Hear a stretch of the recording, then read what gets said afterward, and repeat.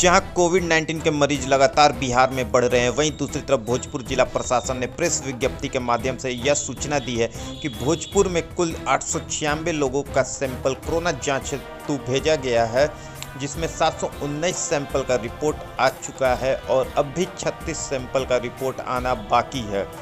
वहीं आपको बता दें कि भोजपुर जिला में अब तक 36 कोरोना संक्रमित मरीज़ मिल चुके हैं जिसमें से 18 मरीज़ पहले ही स्वस्थ होकर अपने घर लौट चुके हैं और 18 अभी भी भोजपुर जिला में सक्रिय कोरोना केसेस हैं। वहीं आपको बताते चले कि भोजपुर जिला में अलग अलग क्षेत्रों में बनाए गए क्वारंटाइन सेंटर में कुल 11,726 लोग रह रहे हैं। तो दूसरी तरफ़ भोजपुर जिला में